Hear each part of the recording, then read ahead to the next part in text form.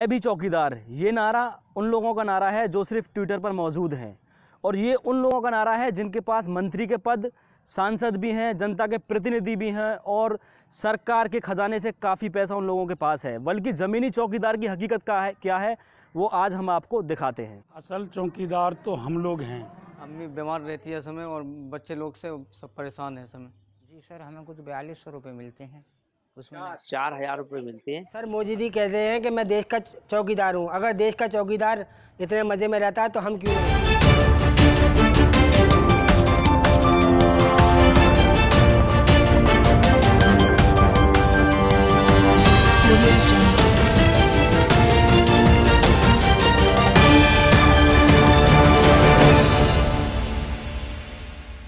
देश के प्रधानमंत्री नरेंद्र मोदी ने मैं भी चौकीदार का एक नारा दिया है। और उस नारे को लगातार जारी किया गया है।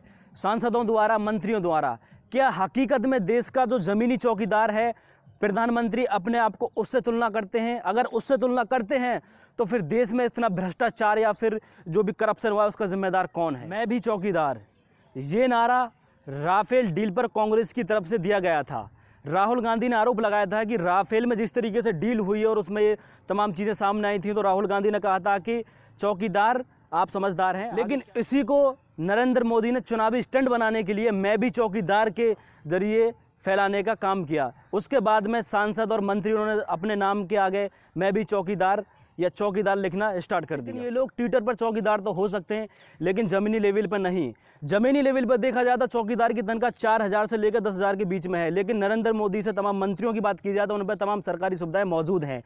इसी पर हमारी देखिए एक खास रिपोर्ट। कि हमें बयालीस सौ रुपये मिलता है बयालीस सौ रुपये में कुछ गुजारा नहीं हो पाता है और हमें चार चार हज़ार रुपये तनख्वाह मिलती है उसमें क्या बच्चों को पढ़ा लें या खा पी लें उसमें कोई ऐसी गुजर भी मुश्किल से हो पाती है। उसमें बच्चों को भी नहीं पढ़ा सकते और यहाँ कोई कैसी बात हो जाए तो उसमें क्या सरकार कुछ हमें मदद थोड़ी कर देगी? असल चौकीदार तो हम लोग हैं जो किस तरह से ज़िंदगी गुजारते हैं आके देखे मोदी जी कि किस तरह से हम लोग ज़िंदगी गुजारते हैं और वो कहते हैं कि हम चौकीदार हैं अपनी जगह हमें रख दे तब पता चलेगा। बयालीस सौ रुपये मिल रहा है इसमें हमारा कुछ गुजारा नहीं हो पा रहा है। अगर तबीयत भी ख़राब अगर होता है तो इसमें सारे पैसे तो हमारा उसी में खर्च हो जाएगा तो बचा क्या कुछ नहीं। सर हमें कुछ बयालीस सौ रुपये मिलते हैं। उसमें बीमार रहती है समय और बच्चे लोग से सब परेशान है समय।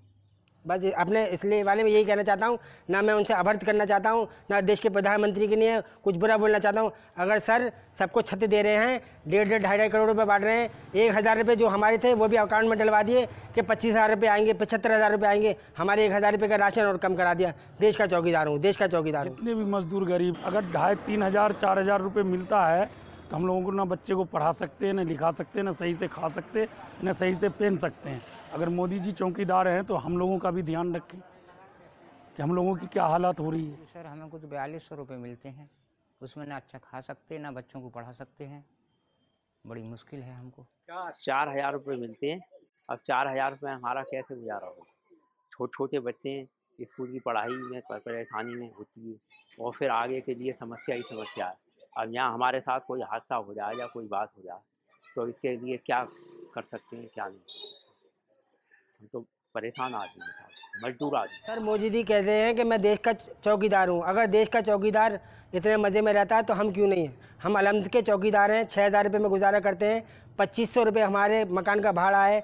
तीन हज़ार रुपये में हम अपने बच्चों को पढ़ाएँगे भी लिखाएँगे भी आलू भी खिलाएँगे। कम से कम चटनी रोटी तो खिला देंगे। अगर ऐसा देश का चौकीदार के मज़े हैं तो हमारे चौकीदार के मज़े क्यों नहीं अगर ऐसे ही चौकीदारी होना है तो जब मोदी जी चौकीदारी करते हैं तो छः हज़ार रुपये में डंडा पकड़ के वो अपना गुजारा करके दिखाएँ तब है देश का चौकीदार। ये दे, देश का चौकीदार है ये प्रधानमंत्री है जो कहता है हम देश के चौकीदार हैं हम देश के चौकीदार हैं। मैं आज तक एक साइकिल नहीं खरीद पाया वो देश के चौकीदार है वो वीआईपी गाड़ियों में चलते। मैं देश का चौकीदार हूँ मैं देश का चौकीदार हूँ। चौकीदार कहना में और जीवन व्यतीत करने में बहुत आसान की उसकी बात है।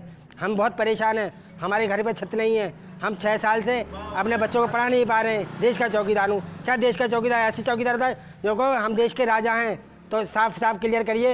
ये क्यों कहते हैं कि हम अलमद का चौकीदार अलमद का चौकीदार बन के देखिए छः हज़ार में गुजारा करके देखिए आपने आलू गोश्त पका के देखिए, तब पता चलेगा चौकीदार क्या होता है। तो ये थी चौकीदारों की हालत। आपने देखी, ना तो इनके लिए कोई पेंशन की योजना है, ना इनकी सिक्योरिटी की भी कोई योजना है। अगर चौकीदार दिन में 24 घंटे दिन और रात दोनों 24 घंटे मिला करके उसमें से अगर 20 घंटे ड्यूटी कर रहे हैं या 16 घंटे ड्यूटी कर रहे हैं उसके बावजूद भी उनको चार से दस हज़ार रुपये के बीच दिया जा रहा है।